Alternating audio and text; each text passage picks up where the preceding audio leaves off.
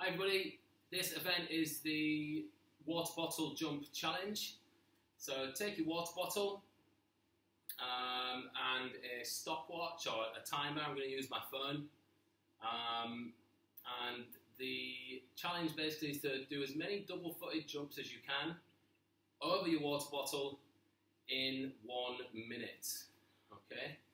So take your bottle, put it on the floor Stand to the side of it. When you jump, both feet must leave the ground at the same time, and then your feet must travel over the top of the bottle and land on the other side of the bottle together at the same time as well. Okay, so this is not okay. That's one foot and then the other. Must be both feet up, both feet down, both feet traveling over at the same time. So that'd be one, two, three. You keep going, you do as many as you can in a minute. Um, if you need a rest, fine, start counting when you restart. If you knock the bottle over, fine, just stand it up and again, restart the count when you start jumping again. Okay? Right, so I've got a minute on my clock.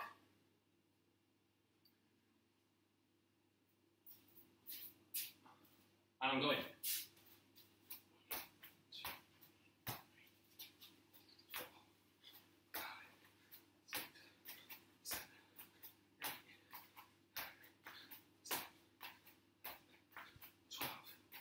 13, 14, 15, 16, 17, 18, 19, 20, 21, 22, 23, 24, 25, 26, 27,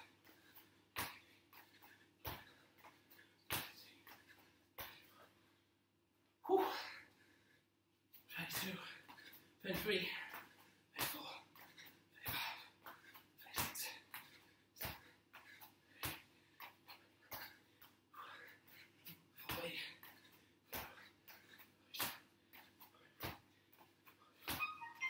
Ooh. Ooh. That was tiring. 44 for me. You'll, you would have seen that I was doing like a little double jump, so I'd jump and then one for balance before I jumped over again.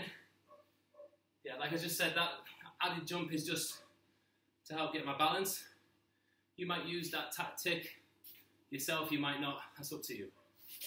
Okay?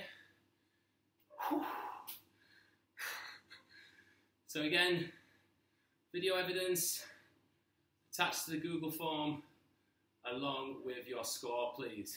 Give it a try. Thank you.